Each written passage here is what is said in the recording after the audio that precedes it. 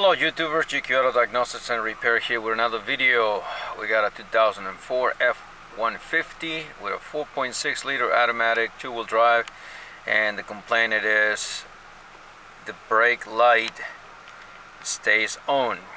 Okay, so so that's what we focus on. The airbag light is blinking because I disconnect one uh, uh, cable so I will reset that after I finish with my repair.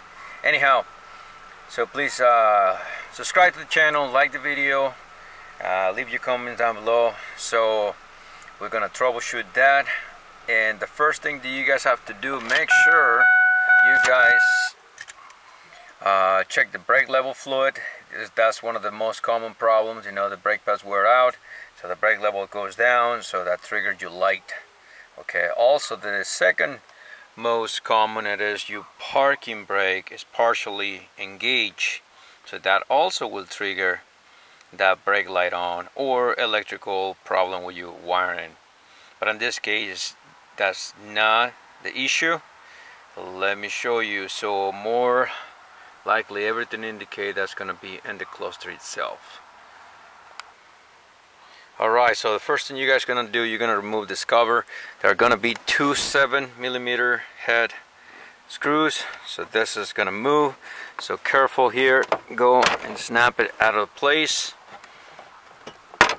And that comes that easy. Now you're going to remove one, two 7 millimeter bolts.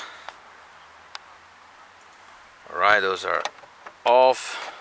So now be careful here what you're gonna do you're gonna come you're gonna lower tilt the steering wheel down all the way bring your hand back here and it started to pop loose just like that.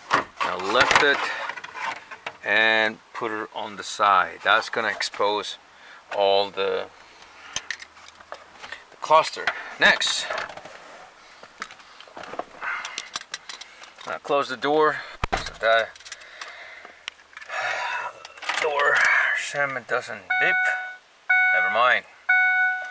Anyhow, so what we're gonna do here, we're gonna reach towards that connector. We're gonna wiggle it. If that light goes off, there we go.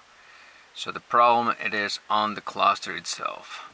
So anyhow, guys, if you get anything out of this video, please, uh, the only thing I ask is uh, smash uh, the subscribe button the like button and all um, and leave your comments down below. I'll make a second video removing this.